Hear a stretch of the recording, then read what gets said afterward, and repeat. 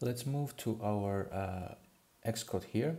I'm going to create a file, Command N, and this is going to be a Swift file. Click Next, and this file is going to help us to uh, link uh, different Firebase collection references. So I'm going to call this Firebase collection reference. Click Enter, and you will get your application uh, file here. I'm going to import Firebase Firestore.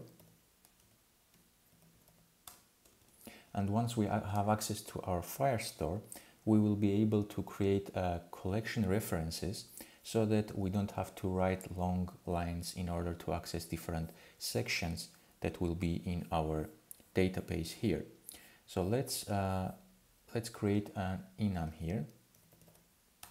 I'm going to call this f collection reference.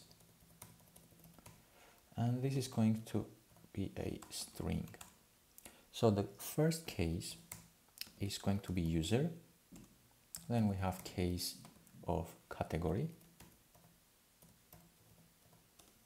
And another case of items. And uh, finally we need a case of basket so each, uh, this will be our users directory, this will be our categories directory. Items will be all the items uh, in for sale section. And basket, uh, each user will have its own basket where we can put items that the user wants to buy. Okay, so these are the four categories we are going to have in our Firebase.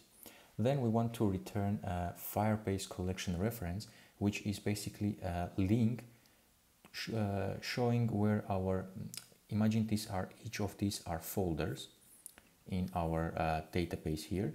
And each one we are going to save a path to each folder so that we can access it quickly. And every time we don't have to type long reference name.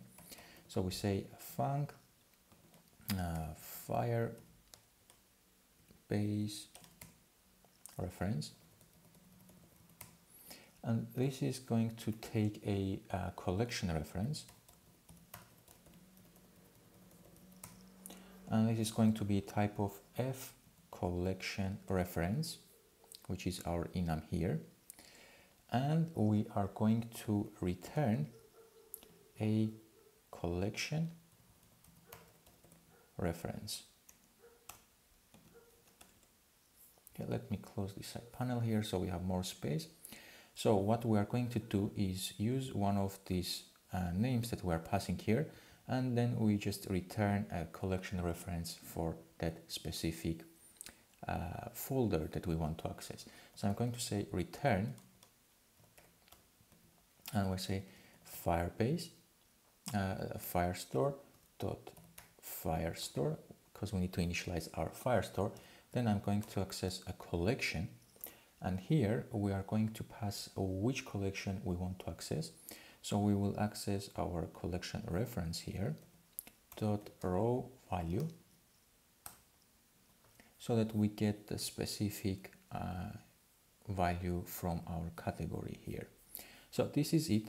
Every time we don't have to type all this long line in order to access specific folder we will just call our firebase reference and pass one of the lines that we want to directly access.